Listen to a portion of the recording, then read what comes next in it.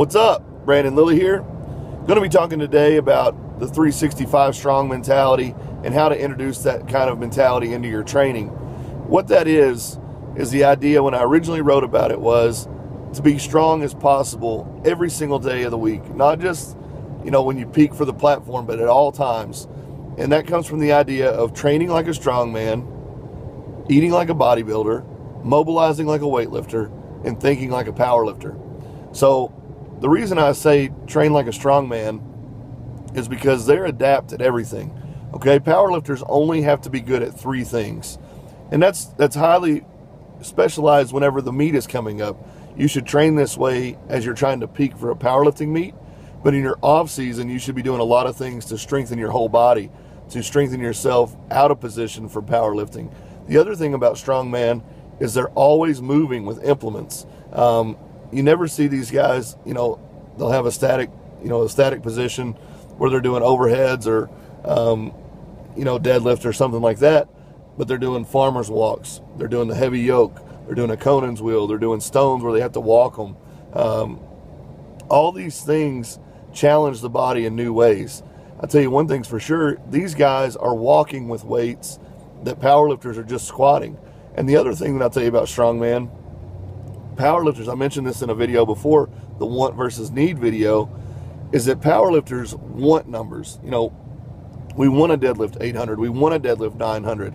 Well, in the world of strongman, at the top level, you don't get to pick what numbers you want. You have to pick the numbers that are de- delegated by the meet director. And at the heaviest levels, if you're not pulling eight, 900 pounds, you don't get to play. So think about that whenever you're implementing your training. Get mobile with weight. There's absolutely nothing wrong if you don't have farmers. Grab some dumbbells and walk with them. I love those. Lunges are awesome for power lifters. Uh, heavy barbell walks, heavy barbell lunges.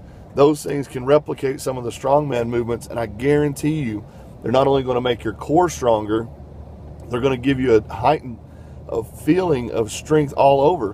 When I was at my absolute strongest body, and I'm not talking about biggest powerlifting numbers, but when I felt the strongest and I was absolutely capable of just attacking anything in the gym, is when I was training strongman specifically. And through this injury that I've had, some of the movements that I've been doing as far as my rehab have gotten me back to the strongman type stuff, and I really, really feel the benefit of it. So I'm not saying this is the best for your powerlifting peak. You know, take your 8, 10, 12 weeks, whatever it is, and peak for your powerlifting meet. But in your down weeks, in the weeks in between your meets, really think about, you know, training like a strongman, getting some of that um, mobile weight training. Next, eat like a bodybuilder. I don't know any guy that ever got into the sport of powerlifting and said, hey, I want to be a big, fat, blobby piece of shit. Um, everybody wanted to get into the sport either to get stronger, to look better, or to feel better. And the way to do that is not going into the gym and doing a bunch of cardio Go to the gym, train as hard as you possibly can, but then do your work in the kitchen as well. How hard is it to take two days a week, cook some beef, cook some chicken, you know, steam some broccoli, and cook some rice, sweet potatoes, whatever it is, put them in the containers and eat well? I promise you, on the front end, yeah, it's going to be more expensive. It's going to hit you for 100 150 $200 a week on the front end. But if you average out how much you're spending eating out every day, three to four times a day, and then you look at your body, the result of those two things, you know, it doesn't make any sense. Your body is going to perform better when you're putting natural, good foods in it. So think about that. Look the part as well as playing the part. Look like you're strong as you actually are. Mobilize like a weightlifter. So many power lifters are taught uh, you don't have to stretch. You don't have to stretch. You want to be tight. This, that, and the other. I agree with that to a certain point. We want to be tight. We want to be powerful. We want to be strong. But a fast muscle is a loose muscle. And one of the things that Louie Simmons has always taught powerlifters in the states, and it holds true, is you have to be a little bit loose to be strong.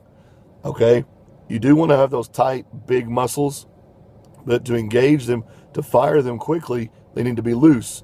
So you need to have some mobilization in your training to maximize the muscle recruitment. Don't just walk around, you know, stiff as a board because you're prone to injury.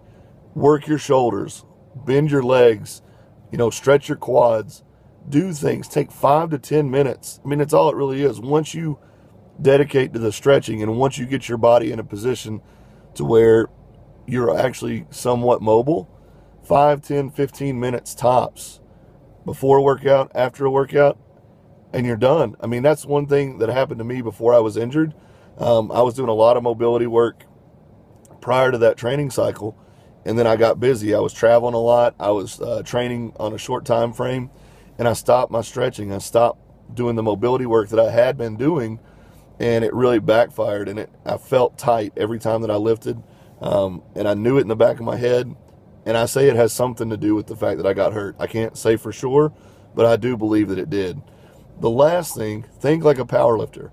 Powerlifters have the luxury of doing one all out repetition. So whenever you're training, it's do or die. It's all or nothing.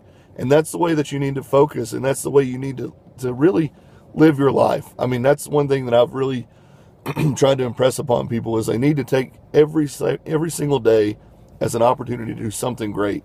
You're going to go to your job, be the best that you can be at your job. You never know who's watching, you never know what's going to happen, but start developing habits for successful living. And I'm talking about in the in the gym, outside the gym, everywhere. Do everything that you can do to the absolute best that you can do it. And the powerlifter mentality, like I said, it's all or nothing. It's one repetition, pass or fail. So you have to prime your mind to think that way all the time. So that's the way I do. That's what I was saying. I go about my day that way. You know, if I'm going to do an activity where I'm going to, you know, say make a video or write an article, I'm going to do the absolute best that I can do. You know, why would I waste my time doing something half-assed when I'm going to be doing it anyway? Might as well do it all out. So think about that. Implement that into your life, inside the gym, outside the gym, and I think you're going to find that you're going to be a lot better lifter. 365 strong every single day, every single way. Thank you guys for tuning in. Catch you next time.